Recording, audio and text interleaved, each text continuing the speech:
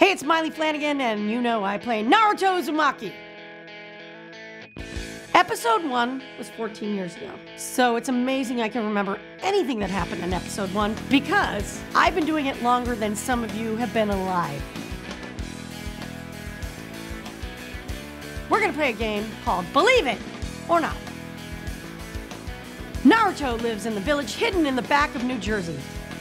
I don't believe it! What does Naruto wear on his head during episode 1 of the anime?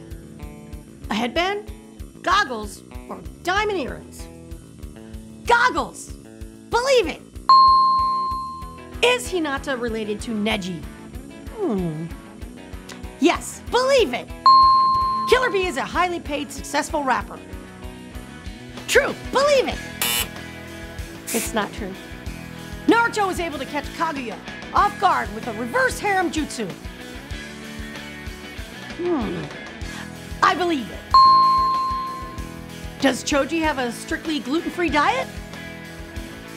Methinks not. He'll eat anything. Don't believe it. Sasuke is a happy guy who's always singing songs about how happy he is. I, I don't believe that. Sasuke? Why is it always all about Sasuke? Bonus question. Who is Boruto the son of? Naruto and Hinata. Believe it. Thanks for joining me. Those were some pretty difficult questions. I am never saying believe it again. Oy.